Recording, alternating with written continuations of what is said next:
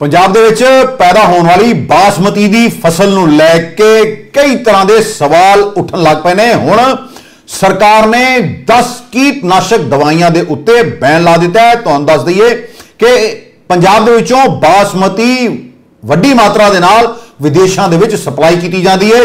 ਸਾਡੇ ਇੱਥੇ ਗੋਦਾਮ ਭਰੇ ਹੋਏ ਨੇ। ਵੈਸੇ ਤੇ ਝੋਨੇ ਤੇ ਬਾਸਮਤੀ ਨੂੰ ਲੈ ਕੇ ਹਮੇਸ਼ਾ ਕਿਹਾ ਜਾਂਦਾ ਕਿ ਫਾਰਮਰ ਨੂੰ ਡਾਈਵਰਸਿਫਾਈ ਕਰਨਾ ਚਾਹੀਦਾ ਹੈ। ਕਿਉਂਕਿ ਝੋਨੇ ਵਾਸਤੇ ਬਹੁਤ ਸਾਰਾ ਪਾਣੀ ਜਿਹੜਾ ਜ਼ਮੀਨ ਚੋਂ ਕੱਢਿਆ ਜਾਂਦਾ, ਜਿਹਦੇ ਕਰਕੇ ਪੰਜਾਬ ਰੇਗਿਸਤਾਨ ਬਣ ਰਿਹਾ ਹੈ। ਪਰ ਇਹ ਖਬਰ ਸੁਣ ਕੇ ਹੈਰਾਨ ਹੋ ਗਏ ਉਹ ਲੋਕ, ਜਿਹੜੇ ਕਿ ਚੌਲ ਖਾਣ ਦੇ ਸ਼ਕੀਨ ਨੇ, ਖਾੜੀ ਦੇਸ਼ਾਂ ਨੇ ਵੀ ਪੰਜਾਬ 'ਚ ਪੈਦਾ ਹੋਈ ਬਾਸਮਤੀ ਨੂੰ ਲੈਣ ਤੋਂ ਇਨਕਾਰ ਕਰ ਦਿੱਤਾ ਖਾੜੀ ਦੇਸ਼ ਹੀ ਨਹੀਂ, ਕਈ ਯੂਰੋਪੀਅਨ ਦੇਸ਼ ਨੇ ਉਹਨਾਂ ਦੇ ਵਿੱਚ ਵੀ ਪੰਜਾਬ 'ਚ ਪੈਦਾ ਹੋਣ ਵਾਲੀ ਬਾਸਮਤੀ ਭੇਜੀ ਗਈ ਸੀ ਤੇ ਜਦੋਂ ਉੱਥੇ ਜਾਂਚ ਕੀਤੀ ਜਾਂਦੀ ਹੈ ਇਸ ਬਾਸਮਤੀ ਦੇ ਵਿੱਚ ਤੇ ਇਹਦੇ 'ਚ ਮੈਕਸਿਮਮ ਰੈਜ਼ੀਡਿਊ ਲੈਵਲ ਯਾਨੀ ਕਿ ਐਮ ਆਰ ਐਲ ਇਹ ਬਹੁਤ ਜ਼ਿਆਦਾ ਪਾਇਆ ਜਾਂਦਾ ਹੈ ਕਿ ਇੱਕ ਜ਼ਰੂਰਤ ਤੋਂ ਵੱਧ ਇਹਨਾਂ ਤੇ ਕੀਟਨਾਸ਼ਕਾਂ ਦਾ ਛਿੜਕਾਵ ਕੀਤਾ ਜਾ ਰਿਹਾ ਹੈ।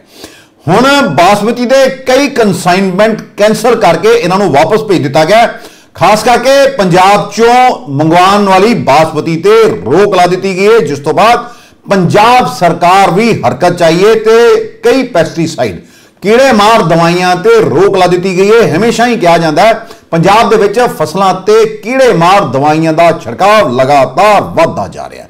ਅਸੀਂ ਲੋਕ ਜ਼ਹਿਰ ਖਾ ਰਹੇ ਹਾਂ, ਜਿਹਦੇ ਕਰਕੇ ਕਈ ਤਰ੍ਹਾਂ ਦੀਆਂ ਬਿਮਾਰੀਆਂ ਹੋ ਰਹੀਆਂ।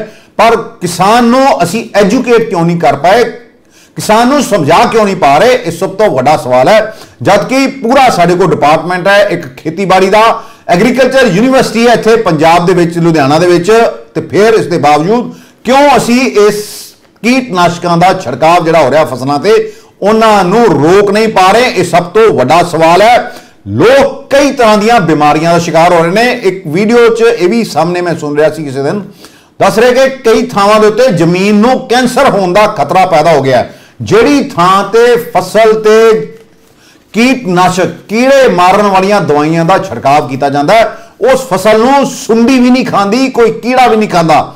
ਪਰ ਅਸੀਂ ਬੰਦਿਆਂ ਨੂੰ ਖਵਾ ਰਹੇ ਹਾਂ, ਇਹਦਾ ਮਤਲਬ ਇਹ ਹੈ ਕਿ ਸਾਡੇ ਕੋਲ ਸਮਝਦਾਰ ਤੇ ਕੀੜੇ ਨੇ, ਉਹ ਸੁੰਡੀਆਂ ਨੇ, ਜਿਨ੍ਹਾਂ ਨੂੰ ਪਤਾ ਹੈ ਕਿ ਇੱਥੇ ਫਸਲਾਂ ਦੇ ਉੱਤੇ ਜ਼ਹਿਰੀਲੀ ਦਵਾਈਆਂ ਦਾ ਛਿੜਕਾਅ ਹੋਇਆ ਇਸ ਕਰਕੇ ਅਸੀਂ ਇਹਨਾਂ ਨੂੰ ਨਹੀਂ ਖਾਣਾ। ਪਰ ਬੰਦੇ ਇਸ ਜ਼ਹਿਰੀਲੀ ਛਿੜਕਾਅ ਕੀਤੀਆਂ ਹੋਈਆਂ ਫਸਲਾਂ ਨੂੰ ਖਾ ਰਹੇ ਨੇ। ਹੁਣ ਬਾਸਮਤੀ ਦੇ ਉੱਤੇ ਰੋਕ ਲਾਈ ਗਈ ਹੈ ਤੇ ਕਈਆਂ ਨੇ ਕਨਸਾਈਨਮੈਂਟਾਂ ਕੈਨਸਲ ਕਰ ਦਿੱਤੀਆਂ ਜਿਸ ਤੋਂ ਬਾਅਦ ਪੰਜਾਬ ਸਰਕਾਰ ਵੀ ਹਰਕਤ ਦੇ ਵਿੱਚ ਆਈ ਹੈ। ਤੁਹਾਨੂੰ ਇਹ ਵੀ ਦੱਸ ਦਈਏ ਕਿ ਪੰਜਾਬ ਰਾਈਸ ਮਿਲਰਸ ਤੇ ਐਕਸਪੋਰਟਰਸ ਐਸੋਸੀਏਸ਼ਨ ਨੇ ਵੀ ਇਹ ਮੁੱਦਾ ਪਹਿਲਾਂ ਚੁੱਕਿਆ ਸੀ, ਪਰ ਸ਼ਾਇਦ ਕਿਸੇ ਨੇ ਧਿਆਨ ਨਹੀਂ ਦਿੱਤਾ ਕਿਉਂਕਿ ਸਾਨੂੰ ਆਦਤ ਹੈ ਵੀ ਜਿੰਨਾ ਚਿਰ ਸਾਨੂੰ ਵਿਦੇਸ਼ਾਂ ਤੋਂ ਕੋਈ ਮਾਰ ਨਾ ਪਵੇ, ਸਾਡੀ ਕੋਈ ਬਦਨਾਮੀ ਜਾਂ ਬੇਇੱਜ਼ਤੀ ਨਾ ਕਰੇ ਉਹਨਾਂ ਚਿਰ ਸਾਨੂੰ ਕੋਈ ਫ਼ਰਕ ਹੀ ਨਹੀਂ ਪੈਂਦਾ ਜਿਹੜੇ ਪੈਸਟੀਸਾਈਡ ਕੀਟਨਾਸ਼ਕਾਂ ਦੇ ਉੱਤੇ ਬੈਨ ਲਾਇਆ ਗਿਆ, ਉਹਦੇ 'ਚ ਐਸਫੇਟ, ਬੁਪਰੋਫੈਜਨ, ਕਲੋਰੋਪ੍ਰਾਈਸੀਫੋਸ, ਹੈਕਸਾਕੋਨੋਜੋਲ, ਪ੍ਰੋਪੀਕੋਨੋਜੋਲ, ਥੀਓਮੈਕਸੋਥਮ, ਪ੍ਰੋਫੇ, ਜਿਨ੍ਹਾਂ ਕੀਟਨਾਸ਼ਕਾਂ ਤੇ ਪਾਬੰਦੀ ਲਾਈ ਗਈ ਹੈ, ਤੁਹਾਨੂੰ ਦੱਸ ਰਿਹਾ ਹਾਂ ਮੈਂ, ਐਸਫੇਟ, ਬੁਪਰੋਫੈਜਨ ਕਲੋਰਪਾਇਰੀਫੋਸ ਹੈਕਸਾਕੋਨੋਜ਼ੋਲ ਪ੍ਰੋਪੀਕੋਨੋਜ਼ੋਲ ਥੀਆਮੈਕਥੋਕਸਮ ਪ੍ਰੋਫੈਨੋਫੋਸ ਇਮਿਡਾਕਲੋਪ੍ਰੈਡ ਤੇ ਟ੍ਰਾਈਸਾਈਕਲਾਜ਼ੋਲ ਇਹਨਾਂ ਤੇ ਪਾਬੰਦੀ ਲਾਈ ਗਈ ਹੈ। ਪੰਜਾਬ ਰਾਈਸ ਮਿਲਰਸ ਵੀ ਇਹ ਤੋਂ ਪਰੇਸ਼ਾਨ ਨੇ। ਬਾਰ-ਬਾਰ ਆਰਡਰ ਕੈਨਸਲ ਹੋਣ ਤੇ ਪੰਜਾਬ ਰਾਈਸ ਮਿਲਰ ਤੇ ਐਕਸਪੋਰਟ ਐਸੋਸੀਏਸ਼ਨ ਵੀ ਬਾਸਮਤੀ ਤੇ ਹੋਣ ਵਾਲੀ ਕੀਟਨਾਸ਼ਕ ਦਵਾਈਆਂ ਦੇ ਛਿੜਕਾਅ ਨੂੰ ਲੈ ਕੇ ਪਰੇਸ਼ਾਨ ਹੈ, ਵਿਦੇਸ਼ਾਂ 'ਚ ਵਾਰ-ਵਾਰ ਟੈਸਟ ਫੇਲ ਹੁੰਦਾ ਤੁਹਾਨੂੰ ਵੀ ਦੱਸ ਦਈਏ, ਅਸੀਂ ਭਾਵੇਂ ਇੱਥੇ ਜੋ ਮਰਜ਼ੀ ਗੰਦਮੰਦ ਖਾਂਦੇ ਰਹੀਏ, ਪਰ ਵਿਦੇਸ਼ੀ ਸਰਕਾਰਾਂ ਆਪਣੇ ਉੱਥੇ ਨਾਗਰਿਕਾਂ ਨੂੰ ਉਦੋਂ ਤੱਕ ਕੋਈ ਚੀਜ਼ ਖਾਣ ਵਾਸਤੇ ਨਹੀਂ ਦਿੰਦੀਆਂ, ਜਿੱਥੋਂ ਲੈਬੋਰਟਰੀ ਚੋਂ ਜਿੰਨਾ ਚਿਰ ਉਹ ਚੀਜ਼ ਟੈਸਟ ਨਹੀਂ ਹੋ ਜਾਂਦੀ, ਯਾਨੀ ਕਿ ਉਹਦੇ ਵਿੱਚ ਇਹ ਤੱਤ ਕੀ ਨੇ ਕੀ ਉਹਨਾਂ ਦੇ ਉੱਤੇ ਜ਼ਿਆਦਾ ਦਵਾਈਆਂ ਦਾ ਛਿੜਕਾਅ ਤੇ ਨਹੀਂ ਹੋਇਆ, ਜਦੋਂ ਤੱਕ ਇਹ ਪੂਰੀ ਤਰ੍ਹਾਂ ਸੁਨਿਸ਼ਚਿਤ ਨਹੀਂ ਹੋ ਜਾਂਦਾ, ਉਦੋਂ ਤੱਕ ਆਪਣੇ ਲੋਕਾਂ ਨੂੰ ਉਹ ਸਮਾਨ ਖਾਣ ਵਾਸਤੇ ਨਹੀਂ ਦਿੰਦੇ।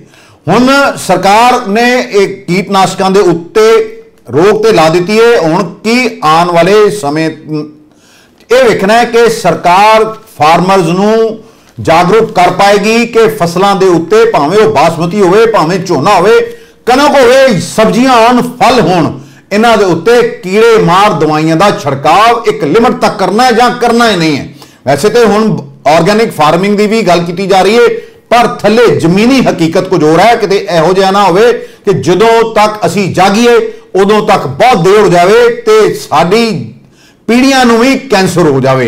ਇਹ ਸੋਚਣਾ ਲੋਕਾਂ ਦਾ ਕੰਮ ਹੈ। ਸਰਕਾਰ ਨੂੰ ਵੀ ਪੁੱਛੋ ਵੀ ਆਖਰਕਾਰ ਸਖਤ ਕਦਮ ਕਿਉਂ ਨਹੀਂ ਚੁੱਕੇ ਜਾਂਦੇ?